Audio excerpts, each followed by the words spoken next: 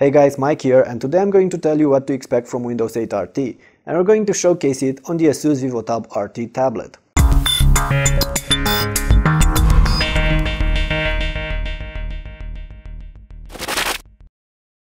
There's been a lot of hype around Windows 8 for tablets and their RT version is Microsoft's operating system for ARM-based devices which are usually touch operated. That means that Windows 8 RT is not going to work with legacy x86 programs, the ones you're used to from your older Windows-based computers, but will have to rely on a different base of apps, which is practically what happens with Android and iOS ecosystems right now. However, while those ecosystems have several years on their back, Microsoft's experience is starting fresh and needs to catch up, but more about that later. First, let's have a look at the new touch-friendly Windows 8 UI.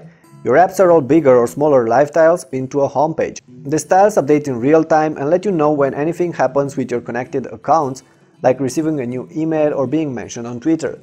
Then you can launch the full apps associated with each of these tiles by simply tapping them. Microsoft integrates many gestures with their new UI and basically all the basic actions can be performed with your hands, although in practice that's not really that simple. You can easily swipe between apps and access the main ribbon by swiping it from the right side of the bezel. In here you'll find the new search bar, the home button, the settings and the quick access toggles, allowing you to connect to a wireless network, adjust screen's brightness and so on. More settings are available from the Metro UI, but if you really want to customize your device, you'll have to dig down and go to the standard desktop mode and open the classic control panel. So yes, Windows 8 RT devices also have a standard desktop mode, but if you plan to use your devices this way, you'll need a keyboard and a mouse, since that particular interface is not really touch friendly. Back to those gestures, you can easily launch the multitasking system by swiping it from the left edge, you can cycle between running apps by dragging them from the same left edge and you can close them easily by grabbing them from the top and pull them down. All these work fine, but others, well, not so much, like trying to customize and move around the tiles from your homepage without using a mouse. Still, you'll get used to these features, although at first you'll find some implementations a bit bizarre and not as straightforward as you might expect. Also, older Windows 7 users will get confused when seeing that Windows 8 no longer features a start button, but since with TRT you're going to spend most of your time in Metro, that's probably not going to be that annoying. With the interface out of the way, let's have a look at some of the basic apps bundled with Windows 8 RT. First, there's the browser, Internet Explorer of course. It's fairly fast and stable, although it can get quite sluggish when opening many big websites. It supports Flash, all the known scripts, and comes with a nice tabbing system, swipeable from the top edge. The address bar however is on the bottom and that will take some time to get used to. Then there's the Office RT 2013 suite which Microsoft bundles with all Windows 8 RT devices free of charge. However, this is a stripped down version of Office 2013 and only includes Word, Excel, PowerPoint and OneNote with slight limitations so there's no Outlook, which is probably the most popular part of an Office suite. But that's not all. The included Office 2013 version is a student and home preview and cannot be used for commercial activities according to Microsoft's terms of services. So if you want to use it for business, you'll need to pay for an upgrade or for an Office 365 online subscription. That being said, Office 2013 RT is free for use, but just for uh, fun. Not to mention that you can easily sync your documents with your SkyDrive account and make them available on any of the other Windows-based devices you might have. Besides that, there's the important email app, which allows you to add several different email accounts and access each at a time, but it's otherwise very basic, as there are very few actions you can perform on those messages you've got. In fact, many of the bundle Metro apps are dumbed down, lacking some basic functions. For instance, there's no easy way to adjust the sound while playing a movie without relying on the hardware buttons on the tablet, and the same happens with music. Then you can't control the music from the lock screen, which is annoying, and so on. However, what's even worse is that opening any of these apps takes a couple of seconds. If you're used with the instant response you get with iOS and modern Android devices like I am, then these tiny delays are going to drive you crazy.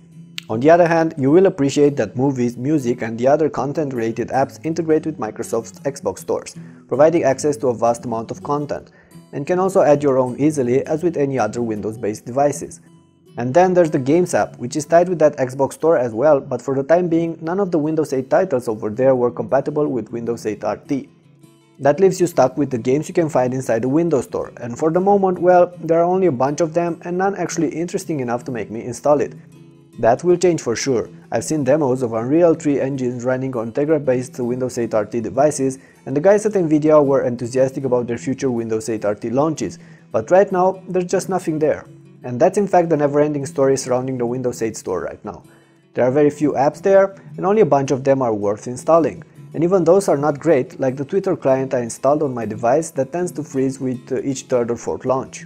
Of course, there are other pre-installed apps as well. The calendar app is quite good for instance and syncs with various other popular calendars. The Reader app deals with your PDF files, travel, news, finance and sports show you the latest from Bing's web portal in a cool and easy to read way, and the Maps app is integrated with those Bing Maps. But none of these are really something you'd die to have on your device. With that in mind, I'd say that right now there's a solid foundation built for future Windows 8 RT tablets. The OS is fairly smooth and stable, even at launch, although it's not as intuitive and straightforward as I expected. The bundle apps are easy to use and most of them useful, although they lack advanced options. However, third-party apps are the big problem that Microsoft needs to solve and fast. With their power and the millions of Windows 8 based devices they will sell in the near future, they should easily appeal to developers and rely on them to populate their app base.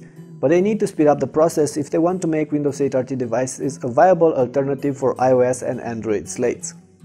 And this pretty much concludes our quick look at Windows 8 RT. More in-depth videos are also available on the channel, so go ahead and check those as well. All in all, I'm satisfied with the out-of-the-box experience Microsoft managed to offer with their new OS, but for now, I'd hold off on buying Windows 8 RT devices since they are pricey and lack apps. There is however a great deal of potential for them in the next years, I just hope that Microsoft is going to know how to nurture their new baby. However, I'd like to know what do you guys think about Windows 8 RT and what's the thing that you like best about it. Also, are you going to buy a Windows 8 RT tablet this year? Please leave your replies below. Thanks for watching and I'll see you guys in the comments. And of course, don't forget to subscribe to our channel and share this clip, that really helps us a lot.